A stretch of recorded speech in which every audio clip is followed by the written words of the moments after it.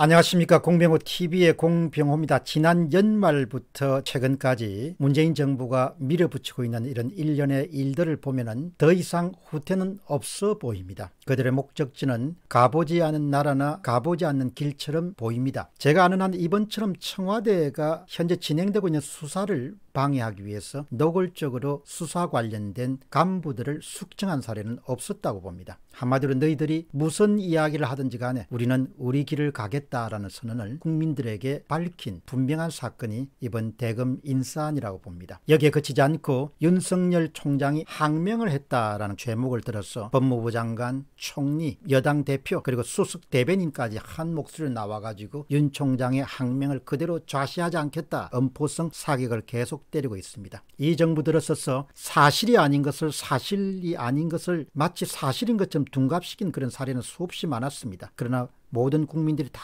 지켜보고 있는데 불구하고 거짓으로 항명 사건을 만들어서 검찰총장을 날려버리겠다 이렇게 야단 법석을 떠는 것은 양식 있는 사람들이 취할 일은 아니라고 봅니다. 그러나 이곳에서도 분명한 대국민 메시지가 포함되어 있다고 봅니다. 그것은 당신들이 무엇이라 항의하더라도 우리는 우리 길을 지속적으로 갈 것이다. 이런 메시지를 국민들에게 제시한 던진 종류의 사건이라고 봅니다. 질문 살펴보겠습니다. 추미애 장관의 무리수입니다. 윤 총장을 항명으로 내몰고 있는 추미애 장관이 그동안 어떤 일을 했는가 검찰총장과 어떤 일이 있는가를 조금 더 자세하게 살펴보겠습니다. 그동안 여러 번 다뤘습니다만은 윤 총장이 추미애 장관에게 전화를 해서 법무부 인사안이 있어야 제가 의견을 보낼 수 있습니다. 이런 취지의 통화를 했습니다. 그것은 아마 여러분도 아시길 겁니다. 윤 총장 이야기는 아, 관례대로 먼저 법무부에 인사 기본안을 보내주면은 아, 우리가 의견을 좀 더 할 수 있습니다. 그러니까 추미애 장관은 인사안이 가진 게 없. 없다는 것이죠. 딱 잡아뗍니다. 갖고 있으면서도 그래서 윤석열 총장이 대묻습니다. 무슨 말씀을 하시는 겁니까? 우리가 허공에 대고 의견을 다할 수는 없지 않습니까? 그러니까 추미애 장관이 이렇게 답합니다. 대통령을 월권하기 싫어서 청와대에서 다 인사안을 만들고 있다 이렇게 이야기를 합니다. 이도 거짓입니다. 그러니까 윤석열 총장이 그럼 청와대에서 받아서 저희들에게 보내주시기 바랍니다. 그렇게 하니까 나는 민정수석을 잘 모르니까 민정수석에서 당신이 전화를 해가지고 그렇게 부탁해서 받았어라.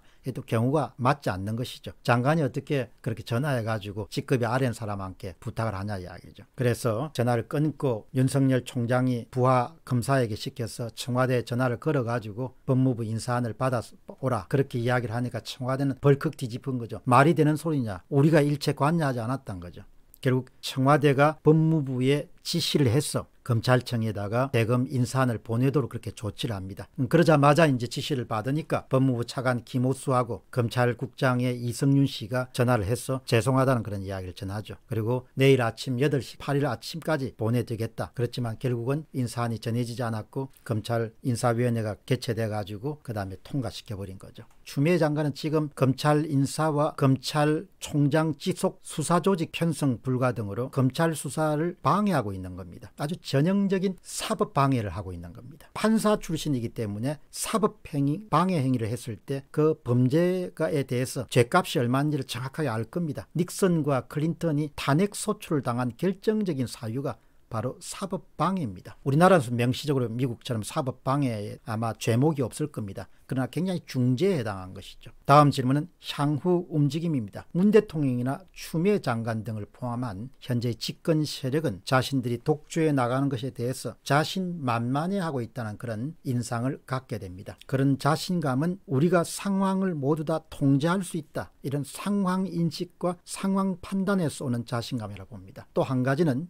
자신들이 무리수를 강행하더라도 저항 세력이 남아있지 않다. 검찰총장의 간부들 을 다 날려버리고 한 걸음 나아가서 윤석열 검찰총장을 제거한다 해도 자신들의 비리를 은폐하기가 만만치 않을 것이라는 점입니다. 이런 상황 판단에 따라서 대처하는 방식은 상당히 달라지게 됩니다. 중앙일보에 아주 예리한 칼럼을 쓰는 전영기 칼럼니스트가 이런 주장을 팹니다. 윤 총장을 설령 내쫓아버리더라도 그런 상황이 전개되더라도 비리 은폐가 불가능하다. 전정기 칼럼니스트의 주장을 한번 들어보시죠. 박정희 대통령은 김영삼 야당 당수를 제명한다고 민주화 운동이 없어지진 않은 것처럼 윤석열을 제거한다고 수사가 중단되지 않을 것이다. 검사가 특별히 정의로워서가 아니라 증거와 진술을 조작이 불가능하게 문수화되어 있기 때문이다. 아무리 친 문재인 검사가 오더라도 물정이 가르치는 쪽으로 수사할 수밖에 없다. 그러나 정권의 순애들은 그러니 정권의 수대들은 오판하지 않길 바란다. 닭의 울음은 새벽의 등장과 아무런 관련이 없다. 새벽에 오니 닭이 우는 것이다. 닭의 울음을 중지시킨다고 새벽에 덮어지지 않는다. 1979년도 10월 박정희 유신 체제는 김영삼을 제명한 뒤 22일 만에 사망했다.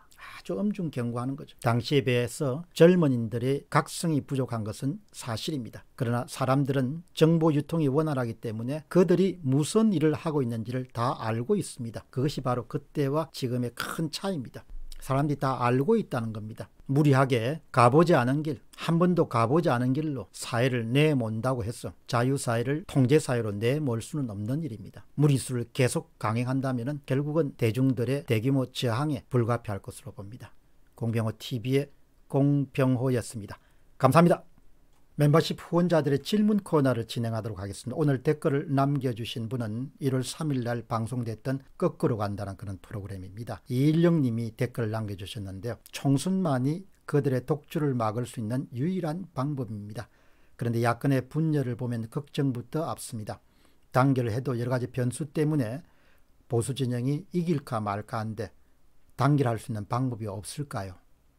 총선 불과 넉 달 앞으로 다가왔는데 너무 걱정이 됩니다. 충분히 공감합니다. 또 저도 걱정을 하고 있습니다. 교육감 선거에서도 보수 진영이 철두철미하게 분열돼 버렸기 때문에 한국의 교육계가 거의 전부가 진보 진영의 교육감들이 교육계를 장악했습니다. 전교조 교육감들이 교육 현장이 굉장히 어렵습니다. 아이들의 앞날에 크게 부담을 지우는 그런 많은 사회적 실험들이 자유학기제라든지 뭐 시험을 없앤다든지 수학교육을 줄인다든지 쉽게 쉽게 살자든지 이런 것이 유행합니다. 지난번 대통령 선거에서만 하더라도 제2, 제3의 후보들이 자신의 사적인 욕심을 좀 줄였으면 다른 결과가 나왔을겠죠. 나라가 이렇게 어렵게 되지는 않았을 겁니다. 이번에도 보수 진영이 다 힘을 합칠지 참 예상하기 어렵습니다. 사적인 욕심을 죽이기가 그렇게 어렵기 때문입니다. 이일령님처럼 멤버십 프로그램의 후원자로 가입하시면 질문이나 또 댓글을 남기실 수 있고 이것에 대해서 제가 매일 답하는 시간을 갖고 있습니다. 여러분들은 시사 문제에 관해서는 공병호 TV를 통해서 안목과 시야와 통찰력을 넓힐 수 있지만 동시에 자신을 개발하거나 자신을 발전시키는 자기 개발, 자기 관리, 자기 경영에 관해서는 제가 새로 출범시킨 공병호 자기경영이라는 채널을 통해서 여러분들의 지식과 정보를 얻을 수 있습니다. 주변에 많은 젊은 분들에게 소개해 주셔서 그분들의 앞날에